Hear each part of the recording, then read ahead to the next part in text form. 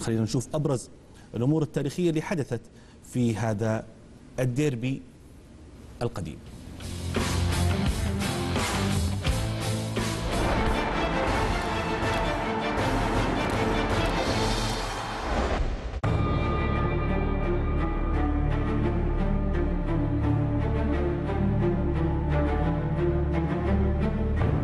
الأهلي والاتحاد موعد متجدد.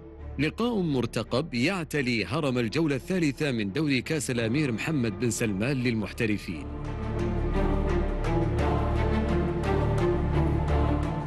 هذا اللقاء دوريا سيحمل الرقم 93 في بطولات الدوري السعودي بمختلف المسميات. تتجه بوصلة التفوق فيها للاتحاد بثلاثين انتصار بينما مباراة وحيدة هي الفاصلة بين أفضلية الفريقين حيث انتصر الراقي في 29 مناسبة. أما التعادل فكان له نصيب كبير عندما يلتقي القطبان حيث حضر في 33 مناسبة.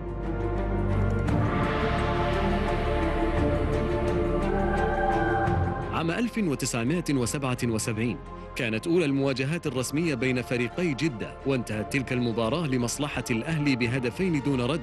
وبعدها استمرت المقابلات حتى آخر لقاء بالجولة الرابعة والعشرين من دور الموسم الماضي.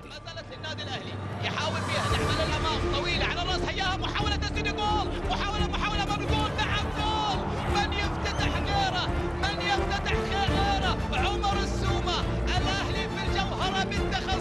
شهد عام 2012 آخر انتصار للعميد على الراقي في بطولة الدوري بهدف دون رد.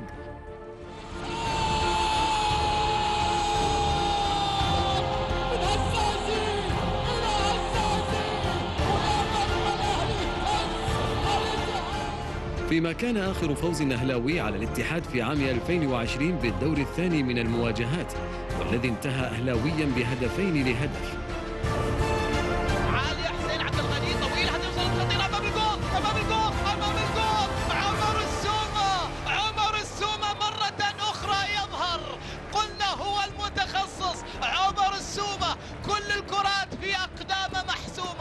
شباك الفريقين اهتزت 253 مرة. فالاتحاد سبق وأن زار شباك جاره في 127 مناسبة.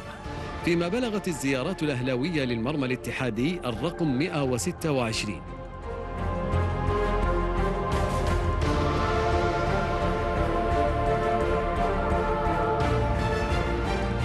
في عام 1982 سجل الأهلي أكبر نتيجة متفوقا بخمسة أهداف لاثنين.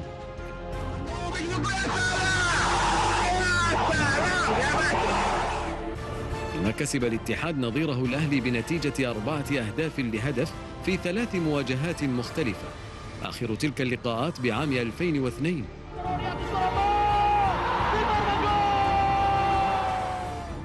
أما أكبر تعادل فحضر عام 1988 حين انتهى بأربعة أهداف لكلا الفريقين.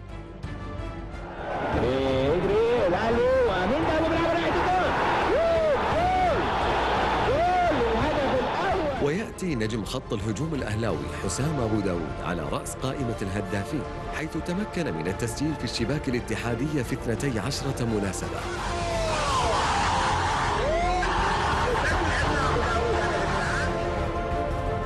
يليه البرازيلي سيرجيو ريكاردو بعشرة أهداف تسع منها بشعار الاتحاد وهدف وحيد بشعار الأهلي.